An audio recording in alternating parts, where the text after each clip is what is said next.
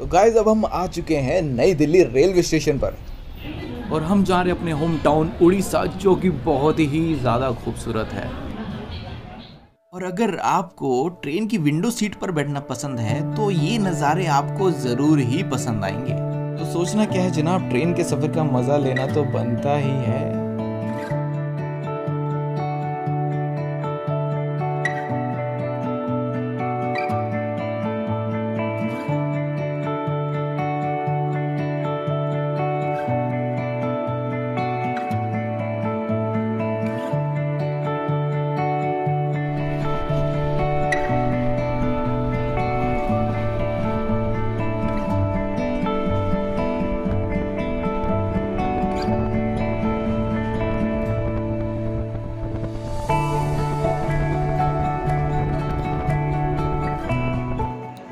रही मेरी ट्रेन और मैं हूँ बोकारो स्टेशन पे, Bokaro steel city station. Just कुछ टाइम और लगेगा। रात के तीन बजे करीब हम पहुँचेंगे। तब तक के लिए देखते रहिए। अरे, कौन रे भाई? ए? ट्रेन में बैठे हो? कहाँ जा रहे हो? हैं? घर जा रहे हो? अच्छा अच्छा।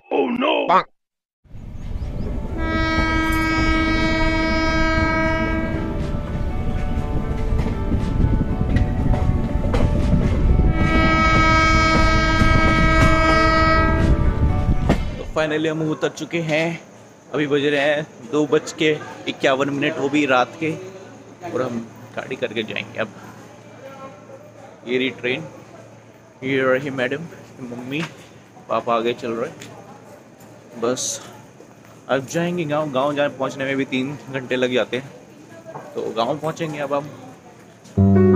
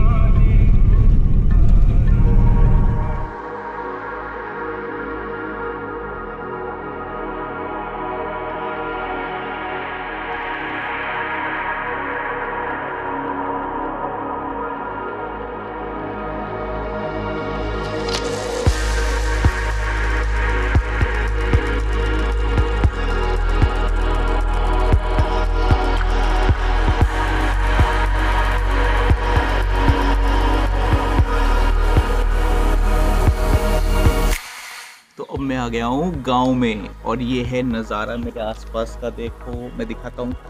ये देखो। बहुत अच्छा नज़ारा। है तो अभी मैं छत के ऊपर हूँ, और मैं दिखाऊँगा, अपना घर भी दिखाऊँगा, और गाँव भी दिखाऊँगा कैसा है। तो इससे पहले दिखाओ, मैं आपको ये दिखाता हूँ कि थोड़ा सा नज़ारा दिखाता हूँ, छत से कैसा व्यू आता है मेरे, जो घर का है। यहाँ पे गाँव में जो घर है उसका। वहाँ से कैसा व्यू? आता है ये है मेरा छत का एंट्रेंस गेट और इससे एंटर करते ही राइट साइड में भी सूरज उग रहा है। सूरज जी अभी निकल रहे हैं और आसमान बिल्कुल साफ़ है, अभी बादल ही बादल थे। और ये लेफ़्ट साइड पे और सीधा सीधा देखें तो वहाँ पे देख रहे ये पीछे का हिस्सा है। यहाँ तालाब है, नीचे जाके भी दिखाऊँगा पेड़ पौधे हैं। लेफ़्ट साइड पे गाँव है पूरा। गाँव दिख रहा है। देखो, नारियल भी है। देख रहे नारियल भी आया हुआ है। तो तो चलो मैं दिखाता हूँ कि जो घर जो है, उसके घर के पीछे क्या नज़ारा है। ये बैकयार्ड का है और यहाँ पे सब खेती वेती होती है, पीछे तालाब भी है। देखना चाहते हो? मैं दिखाता हूँ क्या क्या है। तो ये चलते हैं आगे ये देखो ये एक रास्ता है। ऐसा ऐसा रास्ता है सीधा सीधा ये लेफ़्ट साइड में छोड़ो इग्नोर करो ये टॉयलेट बना हुआ है। राइट साइड में ये उपले रखे हुए हैं गोबर के। और ये ऐसा रास्ता है। ये ऐसा रास्ता है। प्रसाद। प्रसाद। खाओ खाओ प्रसाद खाओ। गोबर गोपले लगे हुए हैं। और ये वेस्ट है। ये देखो तालाब। मछली पकड़ने के लिए जाल वाल का लगा रखा सिस्टम ये है तालाब। मैं थोड़ा पानी ला पानी लाना है? पानी लाके क्या करेगा? यह है लीपू मेरा भाई। क्यूटी क्यूटी भाई ए क्यूटी क्यूटी भाई क्यूटी क्यूटी भाई। चलो। ये जो पीछे मेरे तालाब है इसमें बचपन में बहुत नहाया मैं। और बहुत सारी मछलियाँ भी पकड़ी हैं मेरे चाचे लोग के साथ मिलके।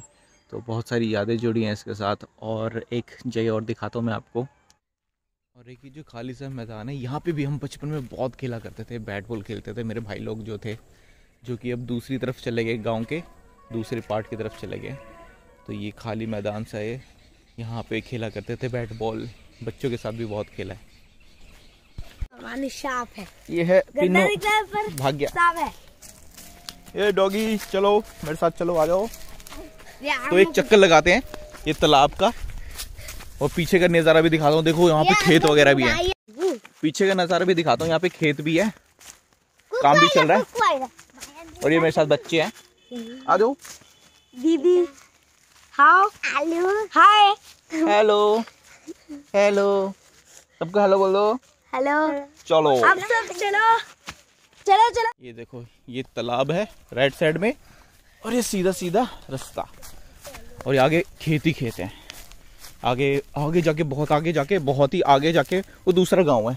और ये हमारे साथ डॉगी डॉगी आ रहा है हमारा। इसको इनको खाना देते तो ये हमारे साथ ही आ जाते हैं। तो हम जहाँ जहाँ जाएँगे वहाँ पे भी आ जाएँगे। क्या हुआ इस फूल का क्या करना है?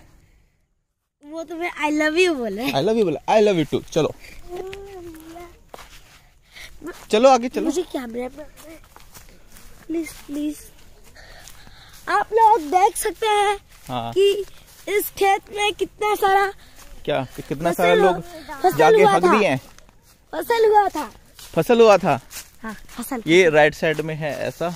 आगे उधर बाद में जाएँगे।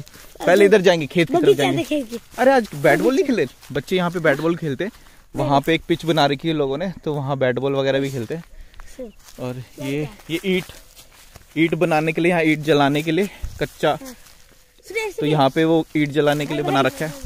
बच्चों के खेलने के लिए मैदान। यही है यहाँ पे भी खेलते हैं। हाँ। अच्छा कि यहाँ पे भी मैदान बना रखा है। हम यहाँ पर भाग रहे हैं।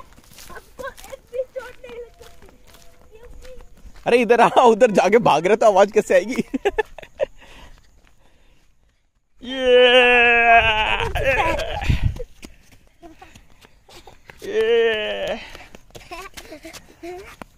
ये देखो ये मैदान बना रखा है। हम अरे बोलेगा कुछ? ट्रेन चलाओगे? अरे अरे अरे। अरे ट्रेन चल रहा है।